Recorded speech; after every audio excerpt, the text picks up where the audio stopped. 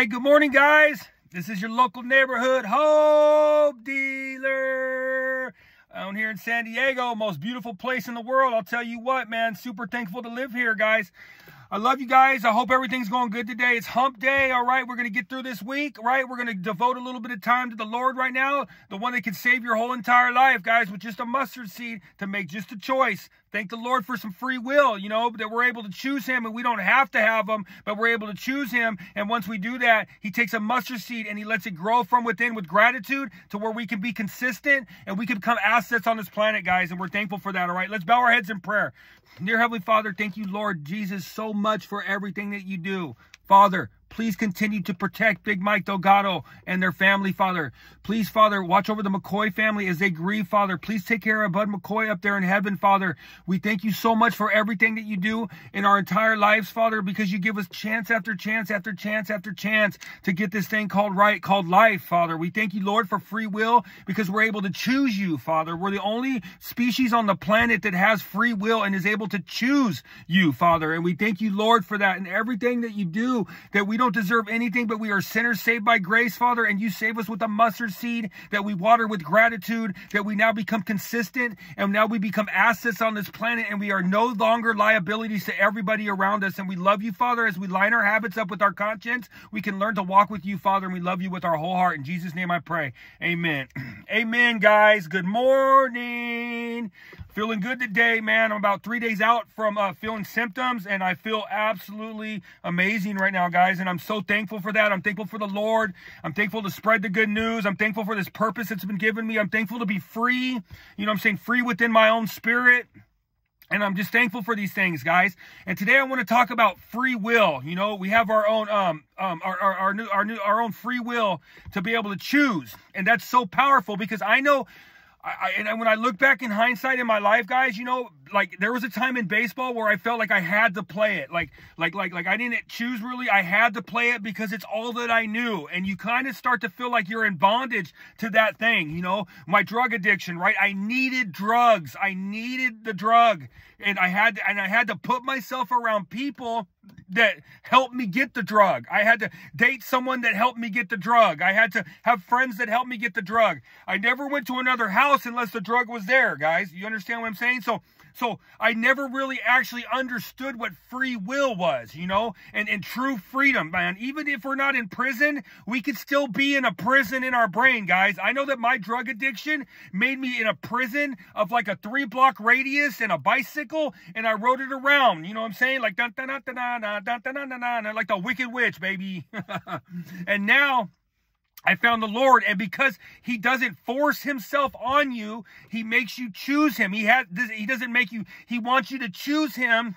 So now our own free will chooses the Lord. So now I feel like I live my life in freedom. You know, I have rules, guys. I have things that keep me safe, right? I went to the Salvation Army for a year. You learn how to totally re reconstruct and transform your life around. So I have the rules that I learned there that they keep me safe, guys. They keep me safe. And then what I've learned with the Lord from the inside out with grace and faith and all these things, they set me free, guys. And God loves nothing more than faith, right? So, and during the time that you are going to wait for your blessing, He's building your character. So when the blessing comes, you're able to handle the blessing. You guys understand what I'm saying? So what I do in the morning, this is what I do, guys. I pray for God to give me what I can handle right? I say, Lord, please, Father, just give me what I can handle for today, all right? Because all we have is the moment, and we'll have the moment next week and the moment 10 years from now. So if I continue to pray for what I can handle, I will always be in the moment, right? And then I, after I've asked the Lord for it, I already start to thank Him for it, all right, guys? I start to thank Him for it. Dude, like six months ago, man, six months ago, I was over at the Milton House and I was walking over to Hartford, right? And excuse me, I was walking over to the Hartford house and I was wanting to spread the good news more, you know, and at this point I had no Facebook, no TikTok, no um no uh Instagram. I had nothing. I had had stayed off social media for like 2 years and 3 months. No social media. So I started asking the Lord to help me spread the good news more. So now if we look at, and I started thanking him for this. Now if I look, you know, five, six, seven months more, guys, I got my Facebook channel. I got a YouTube channel. I got a, TikTok. I got an Instagram and I constantly now have this new platform to be able to spread the good news. And, and, and all I did was ask the Lord to open up more opportunity. And plus I've done the sermon at San Diego ARC. I've, I've spoken at numerous amounts of meetings. I've shared and God has just absolutely opened the door for me to be able to spread the good news. And I see, I heard Tony Robbins talk about when you're hyper vigilant to what you want to do in your life, you will start to recognize little things that help help you get to that goal. You know, and I love that. And every morning when I wake up, I want to spread the good news. So I'm looking for every opportunity to do this. And because of my free will that I choose the Lord, He opens up everything for me, and I don't have to be with Him. I choose to be with Him, and everything in my life I choose to be with now. So I'm not held in bondage, and I'm super, super thankful for that right there. The freedom of the Lord that He gives you from the inside out, guys, is absolutely most amazing, guys. Most amazing, all right? And I just wanted to talk about free will today, how great and how awesome it is, and that not a dog doesn't have free will, a, a bear doesn't have free will, a bird doesn't have free will. They all go off instinct, but we have the ability to have free will. God made us in the image of Him so we can grow more like Jesus and we can turn our lives around and we can become how Jesus Was, and he was the most kind, awesome person to ever walk the earth, and he helped miscreants and misfits like me, and he saved their lives to show power in their testimony, and now I have a purpose to spread the good news. Woo, woo, super thankful, screaming it from the mountain tops. so anyways, check this out. I'm going to read from my book right here, and if I love right in the beginning right here. It says, find freedom through seeking to please me above all else, guys. The Bible guides us. When you learn how God likes to be pleased, love your neighbor like yourself. You know what I'm saying? Um, iron sharpens iron, as man sharpens man. Like when you read the Bible and you learn what to stay away from and what you can go around, then God is pleased, guys. And God loves you, right? And He is a jealous God. He wants you to worship Him. He does not want you to put any other idol out in the front of your life. And I've tried them all and they all end miserably, all right? Right? The Lord has always continually worked everything out for the common good in my life. And I'm thankful for that, guys. And I'm so thankful. Please me above all uh, else. You can have only one master. Only one master. You got to put God first, and then the blessings will trickle down. And as you wait for the blessing, He's working on your character, and the blessing hits you, and now you can handle the blessing, guys. It's an amazing thing. All right. We got to have patience. You got to have a good attitude while you wait. All right. We got to wait well. It's called waiting well. Wait well so your character will grow. All right. Uh, you scatter your energy to the winds.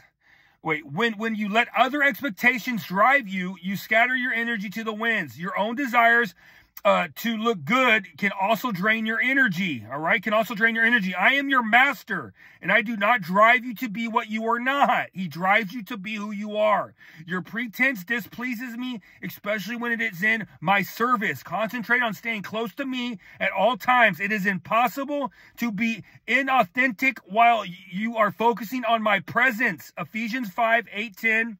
Matthew 23, 8, and Matthew 6, 1. Do you guys understand what it says? It says it is impossible to be inauthentic, guys. We are we are continuing to be our authentic self, all right? We're not being conformed by the earth. Okay, we are becoming authentic through God, right? And it's crazy. We are so special. Our fingerprints, guys, our fingerprints are only our own. There's a, so many people on the planet, and we are, and God has made us each and one of us different than the other, guys. And I believe that now, and I believe that I'm on my own course. If I thought about San Diego, how many people are down here, and why would God want to work with me?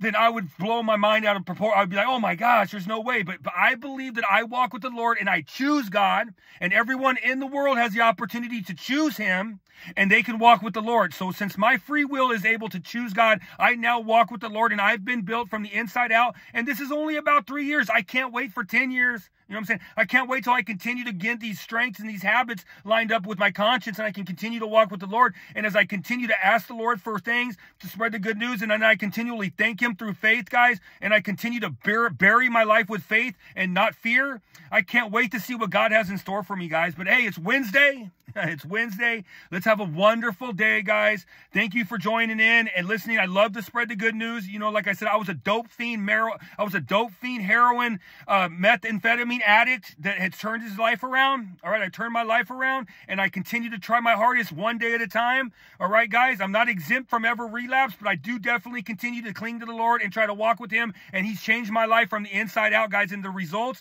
are just absolutely amazing, guys. Hey, I got a YouTube channel over on YouTube. It's Monte Mansfield Hope Dealer. Check it out, subscribe, get the word out there, guys. And just thank you so much, guys. And let's remember, let's choose with our free will, God's will, just for today. Today matters. Thank you, guys.